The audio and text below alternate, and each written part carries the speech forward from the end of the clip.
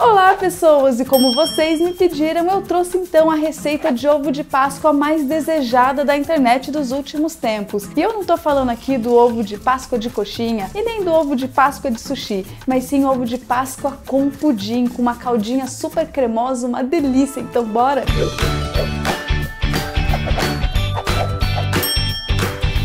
A primeira coisa que a gente precisa fazer é a casquinha do ovo. Esse aqui a gente vai fazer de chocolate branco e como todos os outros ovos que eu já ensinei para vocês, aqui eu tô usando o chocolate fracionado, mas você pode usar o chocolate nobre temperado também que vai dar tudo certo. Então a gente vai colocar o chocolate já derretido na forminha de ovo de Páscoa e levar para gelar.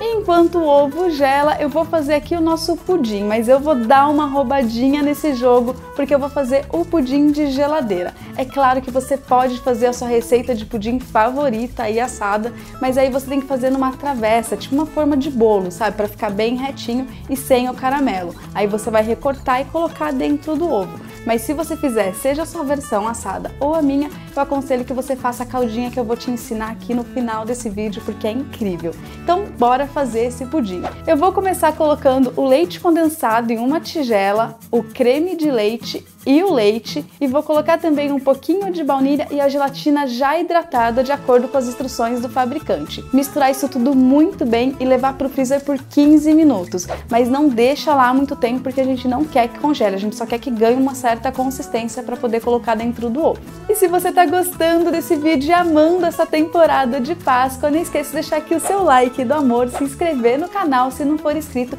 e ativar o sininho para receber as notificações e não perder nenhum vídeo. Assim que ficar mais firme esse creminho, a gente vai colocar dentro da casquinha do ovo, mas sempre deixando uma bordinha de mais ou menos um meio centímetro, que é onde vai vir a nossa calda. Aí eu vou levar para gelar por pelo menos duas horas ou até ficar firme ao toque.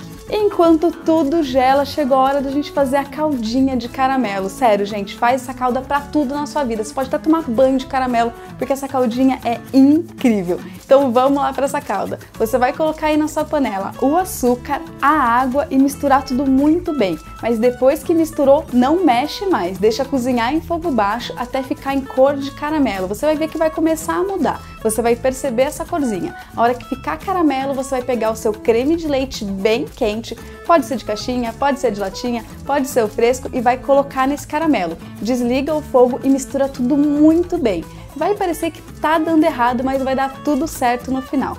A hora que você tiver um caramelo bem cremoso e líquido, você deixa esfriar completamente. Aí é só você colocar no seu ovo de Páscoa, decorar como quiser e tá pronto, é só aproveitar. E o meu ovo pudim ficou pronto, mas antes de eu experimentar essa delícia, eu quero te dar aqui uma diquinha super esperta. O ovo e o pudim, eles são lisos, então o pudim vai ficar meio que sambando dentro do seu ovo. Mas o que, que eu fiz aqui em casa? Eu desenformei esse pudim e peguei um papel toalha, dei uma secadinha dentro da casca e também uma secadinha no pudim e depois remontei e coloquei tudo no lugar. Assim fica tudo mais firme e mais fácil para você entregar para quem você ama ou para vender. Não sei se você vai fazer isso daqui para vender, mas fica a dica. E se você gostou desse vídeo, não esqueça de se inscrever aqui no canal. Se não for inscrito, também deixa o seu like. E se você fizer uma receita nossa, posta a hashtag receitas de minuto, igual a Price fez, nossa trupinha sensação ficou linda. Parabéns, Price, tá incrível. E agora deixa eu experimentar esse pudinzinho, não é mesmo? Então vamos lá. Hum, gente, fica tudo tão cremoso. Essa caldinha maravilhosa. Sério, faz em casa. Me conta o que achou, que tá incrível.